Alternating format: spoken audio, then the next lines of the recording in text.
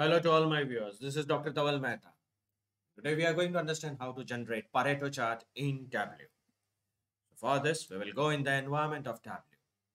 In Tableau, the variables are divided into two parts. This is the zone of dimension and this is the zone of measure.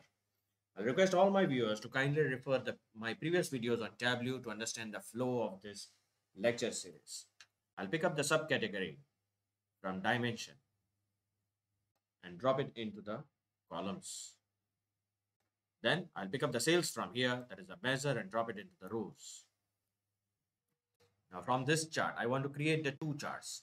So with the help of Control Shift on your keyboard, drag it and drop it, the sales nearer to the first one. So you can see we are having two charts now. Convert the second chart. We are having two charts. This is a sales for this is for the first one. Then this sales is for the second one.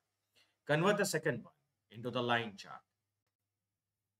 From here, activate this and make dual axis. As soon as I click on dual axis, you can see the tabs have changed. Now you will go in the first one and activate the bar from here. Now go in the subcategory. Activate the sort.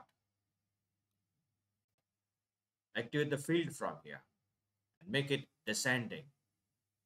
And you can see now we are having the descending bar chart.